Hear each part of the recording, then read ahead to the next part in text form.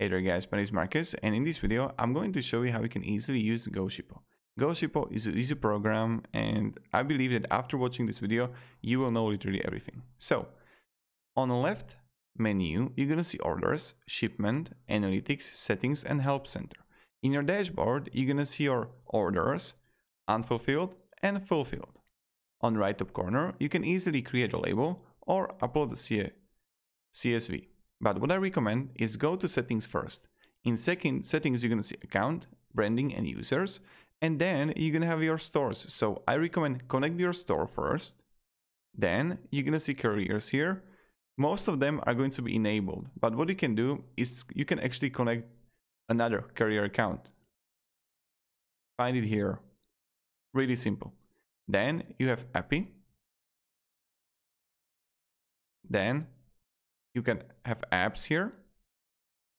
And then what I recommend is like edit everything here. Company, name, website, social media, addresses, labels, like what kind of format you want, uh, default packing slip, like which one you want to, and what kind of text on label you want, and default outbound service level.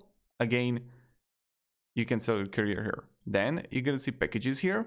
And again, you can easily edit weight unit and distance unit. Tracking page and some notifications. You can have like auto send this on. Now, the last thing is automations and you can create a new rule here. Like if the incoming order meets the following conditions, if it's order weight, then apply the following actions, package, and you just add here what will happen with it. Right? This is what you can do. Now, this is how GoShippo works. Here, the first thing are orders. Orders, you can simply create a label And now let's go with printing like this and like this. And I can click save and continue.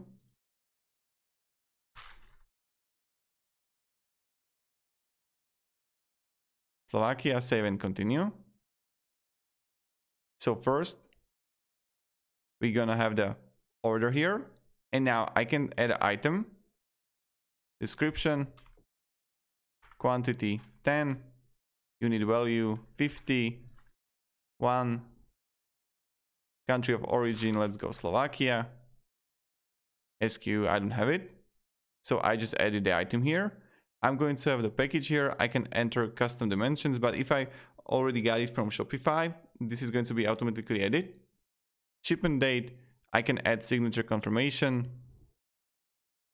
Shipment insurance, create a return label. Shipment contains alcohol.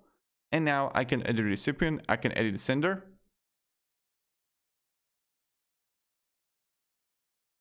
And now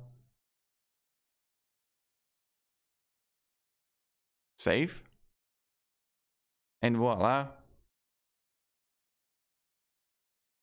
I can have it. So this is how you can simply, then you just like click buy here. And this is how you can create an order. Then you're gonna see shipments here. And you can simply create order here. Or you can schedule pickup. Or you can export or create manifest.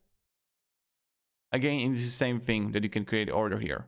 In analytics, you would see literally everything. I really recommend like connecting it with uh, Shopify or Wix on whatever e-commerce store you got. And this is pretty much it. Shipio or Shippo is really simple software for viewing orders and creating orders. And you're gonna have orders here. But what I recommend guys, for starting out, Shipio or Shippo is really great. But if you're gonna have more orders, I recommend upgrading it to Go ShipStation or different ones. Because if you're gonna have like a lot of orders here and you're gonna get like 100 a day or I don't know 50 a day, uh, I just don't know if you're gonna keep up with this. So yeah, thank you very much everybody for watching. If you have any questions guys, ask me down in the comments.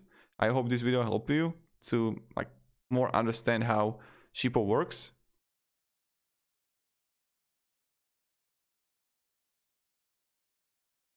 And. So have a great day and goodbye.